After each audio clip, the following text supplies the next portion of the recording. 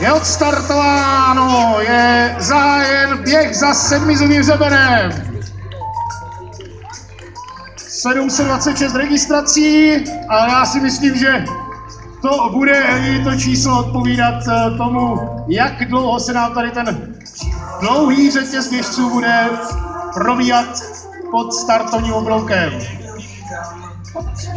Podívejte se na to, celé náměstí zaplněno ženy, veteránky, muži, veteráni.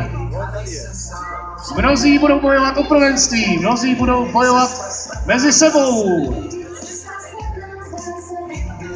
Mnozí si dali nějaký ten cíl, množí zahajují svou atletickou pouť na dlouhých tratích.